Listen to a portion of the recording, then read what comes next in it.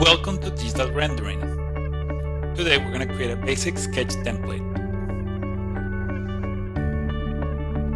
First you want to check your folders to find the file that contains the image that you want to use for the background of your sketches.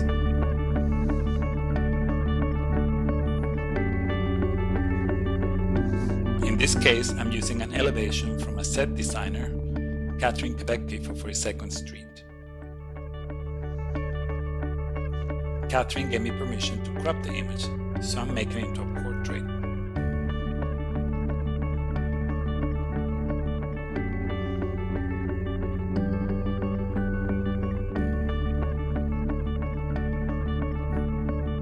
Before saving the image, make sure to add text boxes with information about the show, like the name, the venue, the director,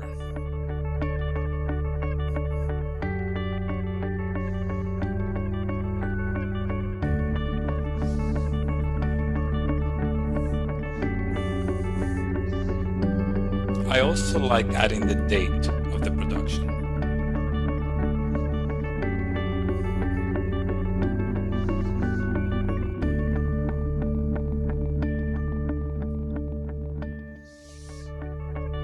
And I always remember to put my name and my job title.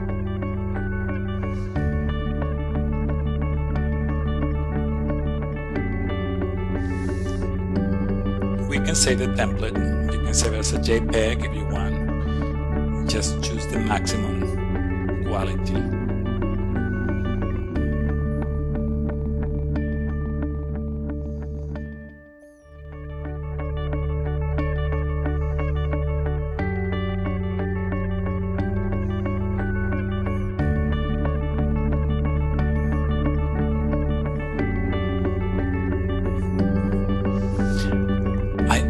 Always make sure to double check the spelling.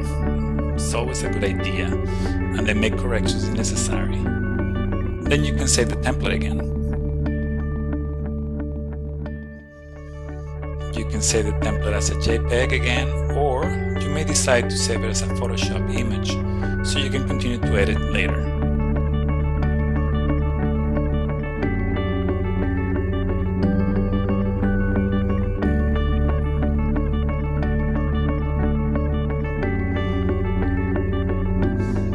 Make sure to label the file with a name you will remember later. I usually use the name of the show. And here is the summary of this session. Thank you for watching.